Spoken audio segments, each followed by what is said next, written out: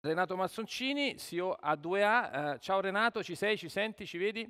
Sì, vi sento bene, buongiorno a tutti. Eccoci, buongiorno a tutti. Allora, non solo transizione energetica, insomma, tanta esperienza, peraltro la tua, insomma, in tanti settori lo sappiamo bene. Ecco, quali sono i punti da mettere nell'agenda eh, per i nostri lavori nei prossimi mesi come CEO for Life? A te la parola.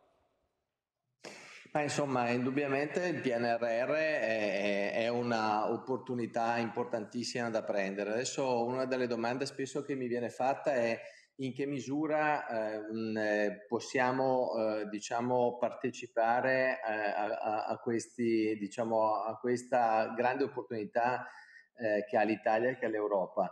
Non è semplice dirlo perché eh, in realtà tutti i nostri piani industriali, il nostro come quello di Gianni che ha fatto vedere poco fa, no, in realtà non prevedono dentro le risorse PNRR. Nel senso i nostri per esempio 16 miliardi di investimenti nei prossimi 10 anni da qua al 2030 sono tutti fatti con i nostri flussi di cassa o la gestione del, della nostra leva finanziaria.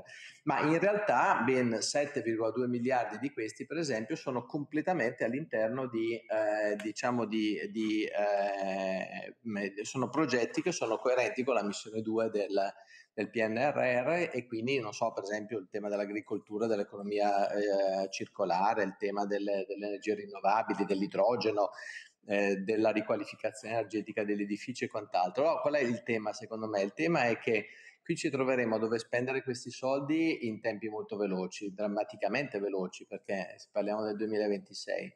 Sappiamo benissimo quanto tempo serve per fare un progetto, per aprire un cantiere e per mettere a terra degli investimenti, quindi il problema è che bisogna essere, eh, bisogna essere pronti.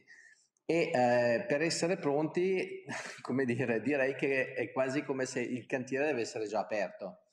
Um, come fa a essere già aperto il cantiere? Devi essere già attivo in quel mercato. Per esempio, facciamo un esempio banale, noi abbiamo un miliardo di investimenti sul tema dell'acqua, sia sulla parte della riduzione delle perdite, sia sulla parte della, di tutta la depurazione. L'Italia sapete che è un disastro purtroppo su entrambi i fronti.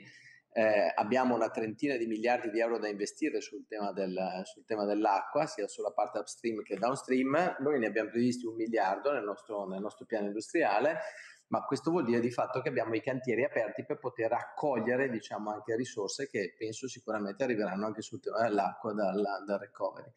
E, eh, e, così vale ovviamente per quanto riguarda le energie rinnovabili, abbiamo previsto 4 miliardi di euro per sviluppare circa 4 giga di, di, di nuove energie, eh, campi eolici e fotovoltaici oppure il teleriscaldamento. Abbiamo un progetto veramente iconico per portare il calore della centrale di Cassano d'Adda, una delle grandi centrali termoelettriche italiane, che ovviamente producendo energia elettrica produce di derivato calore che attualmente viene, eh, come dire, eh, viene scaricato nel, nell'ambiente, invece essere recuperato per il teleriscaldamento di Milano, la provincia di Milano, con un uh, incremento importante di efficienza, una riduzione di CO2, abbiamo quasi 150.000 famiglie milanesi che potrebbero essere riscaldate con il calore che oggi è dissipato.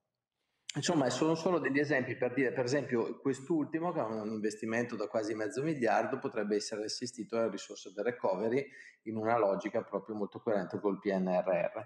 Quindi credo che eh, le nostre aziende, le nostre utility eh, potranno essere veramente particolarmente utili perché sono già in movimento, sono già in movimento e quindi sono in grado di gestire risorse incrementali che arriveranno su dei pillar che sono eh, quelli appunto della transizione energetica, dell'economia circolare, che sono eh, i nostri, ecco. e quindi su questo penso che il contributo potrà essere sicuramente importante.